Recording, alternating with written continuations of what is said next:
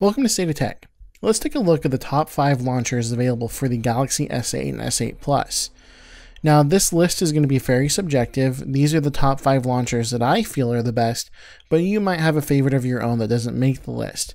Let us know in the comment section down below which one of the launchers is your favorite that I've selected, and let us know also if you're using a different launcher that we can take a look at in the future. So what we're going to do is where I have actually added all these launchers to a default home screen. So I've got Google Now, Action Launcher 3, Evie Launcher, Nova Launcher, and then Arrow Launcher. Now, when you first install one of these launchers from the Google Play Store, it's going to ask you to make it your default launcher. Now, since I've already launched all of these and kind of done a little bit of customization, it won't do that.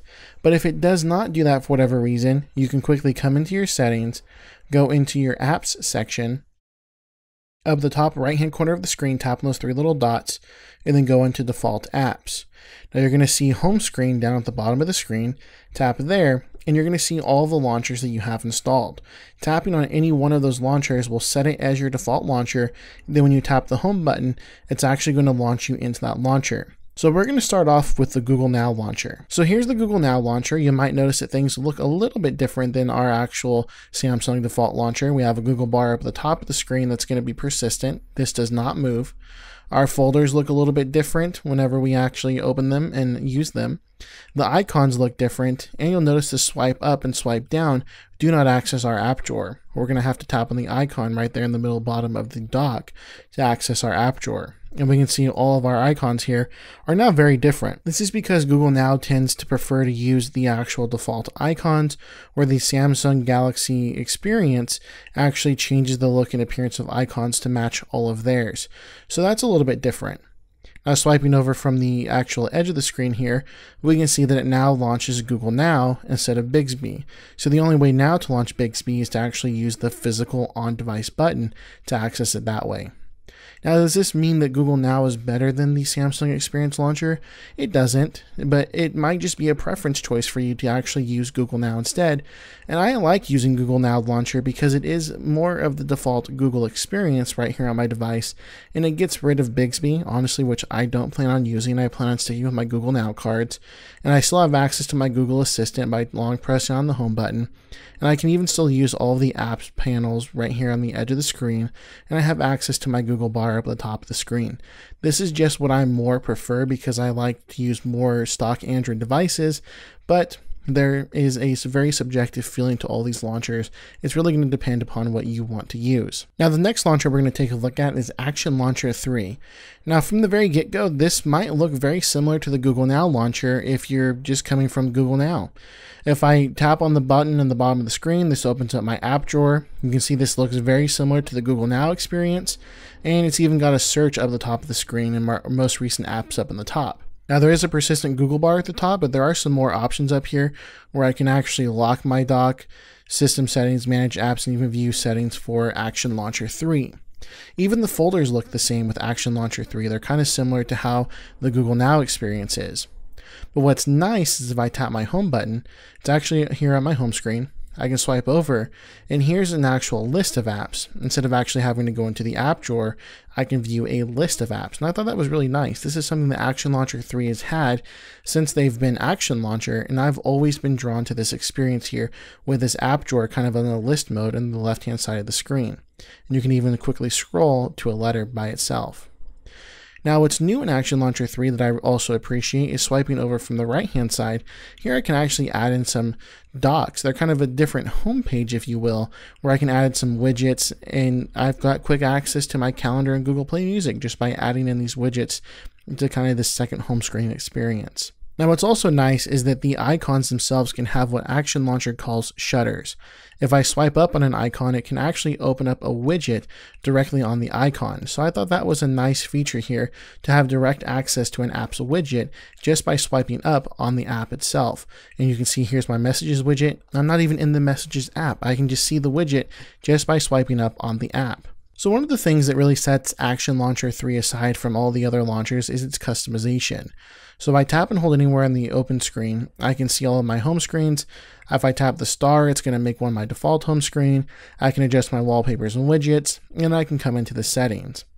Now you can see that I am a supporter of the app and this just gets me Action Launcher 3 Plus, which unlocks all of the features.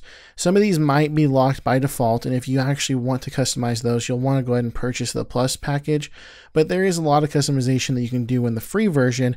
I just happen to wanted to use this as my default launcher for a while, and so I purchased the Plus to be able to fully customize my home screen experience.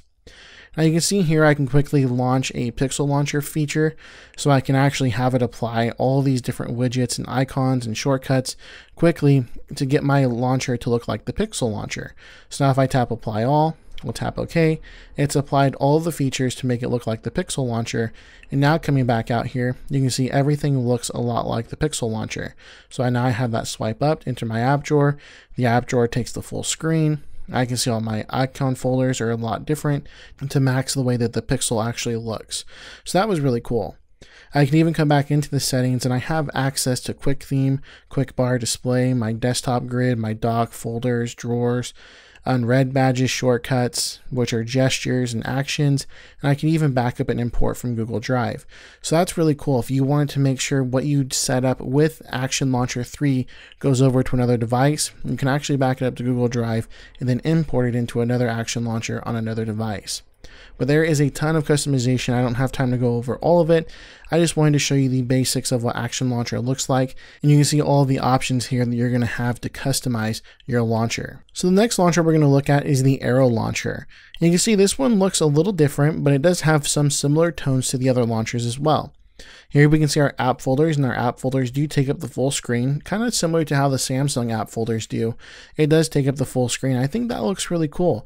It just gives you all of your icons right there in the middle, quickly unobstructed with nothing else in the background.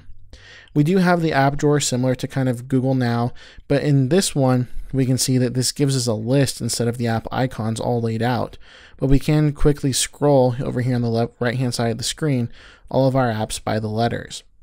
We can also search for apps on the top of the screen. Tapping up there, we can do a horizontal layout. We have a vertical layout, and then we can even hide apps if we wanted to quickly right there for inside those settings. Now swiping over to the left where we did see a Google Now card and also the apps list in Action Launcher, this kind of gives us some cards of our recent apps. So here we can see up at the top there's recent videos, frequent apps, people that we contact, reminders. We can even sign in with a work or school account for Microsoft to see all of our documents. We can even enable calendar to quickly get some widgets. If we tap on edit, we can actually edit these screens. We can even add in our own widgets, or we can go ahead and hide any of the ones that come in by default. So I thought that was kind of neat. It's a little bit of a different view here. And this is a really lightweight launcher. I like the options for searching quickly from anywhere on the screen. If I swipe down here, you see I have a search option. Swiping up doesn't really do anything at the moment. But if we come into our actual settings, We'll tap and hold. We see app widgets, arrow settings, feedback, and even changing the wallpaper. And we can even change and add in home screens by swiping over to the right here. We can delete them by tapping the trash icon and then actually making it our default home screen by tapping on the home icon. Now in the arrow settings, we can actually see there are quite a few options in here. We have gestures, backup restore, which we also saw backup and restore in Action Launcher 3. This will give us the option to restore to another device, or if we choose to do another launcher, we can always come back in and restore our options. The utility page, we can enable the utility page, and that's where all the cards were. We'll come back into our settings. We have general settings for Arrow Launcher, which we can see uh, give us some clocks. We can sign in with some accounts. We can do our filters, high performance, so we can disable some visual effects if we feel like it's running a little slower on our device. That's a nice option. I really haven't seen that in a launcher before, giving us a high performance mode. We can change our notification badges, icon layout, we can change our icon packs. So a lot of these features are similar in a lot of launchers. This one just has them more out in the open. And what was nice about this one is this one is completely free. There's nothing that I really need to purchase right now. I can support them if I wanted to by giving them a five star rating and helping them out on their surveys. But for the most part, a lot of these features are free. Where Action Launcher had a good portion of the settings for free, I did have to purchase it to do deep customization, such as changing um, folder sizes to a certain extent and different text options. But it looks like Arrow Launcher has a lot of these unlocked for free.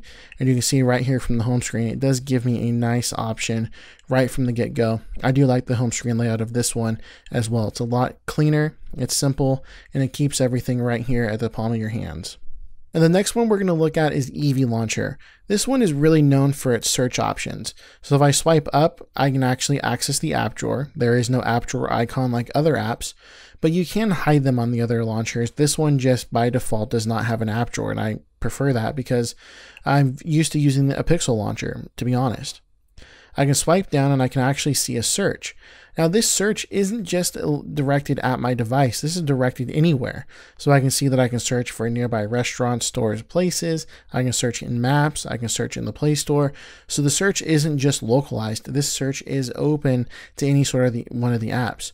Now, some people might see this as a positive and some might see this as a negative, being that this is a search option. It does need access to anything on your device, and so that could be a security risk for some people, but I like to trade off those risks for the rewards here that I find, and that is the search option that Evie Launcher does provide. So now what I can do is swipe back up, come back out to my home screen.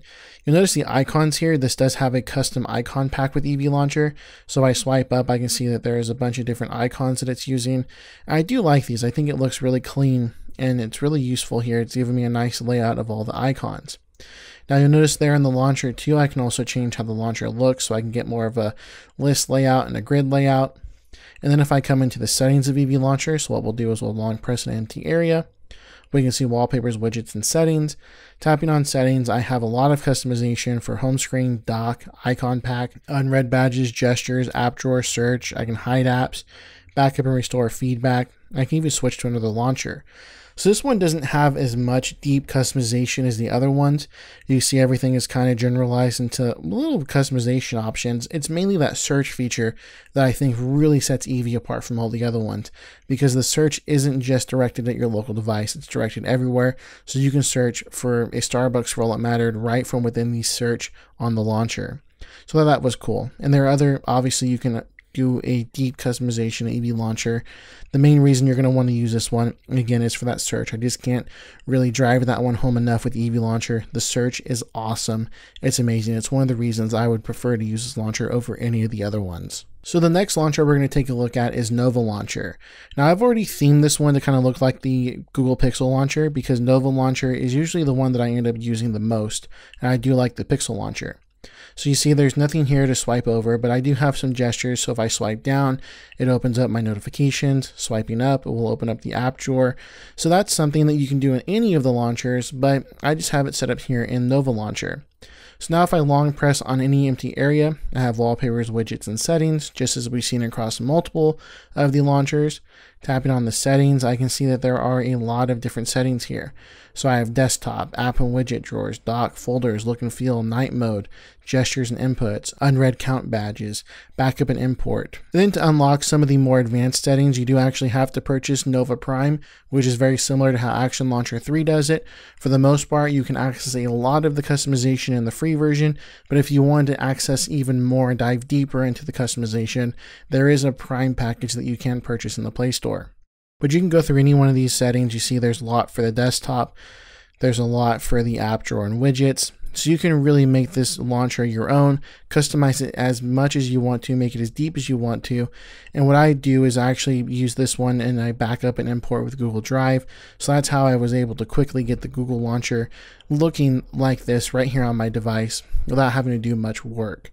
But there's also the option you see I can actually customize colors in this app drawer. I can customize the grids. I can hide apps. I can customize the dock. I customize the look in the folders, the transparency of them, customize the Google persistent bar at the top, shut things off, turn things on. It's all a matter of preference here. And this is what all the launchers allow you to do is really customize your device as much as you want to for as, for as little as you want to for that matter. But it just gets you away from the Samsung launcher or the Samsung experience.